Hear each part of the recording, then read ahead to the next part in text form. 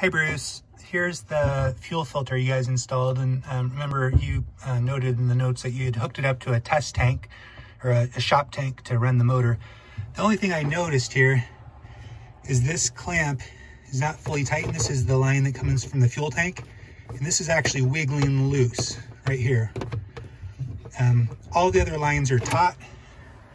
This one goes to the motor, it's fine, but this is loose. And so if the person that worked on this should have, um, since they replaced this, should have noticed that this was loose or possibly maybe they took it off to hook it to the test tank. I don't know. Um, I don't think that's the only problem with the motor, but that, you know, concerned me. This could have fallen off uh, and, and caused a fire or something. So I just want to alert you to that.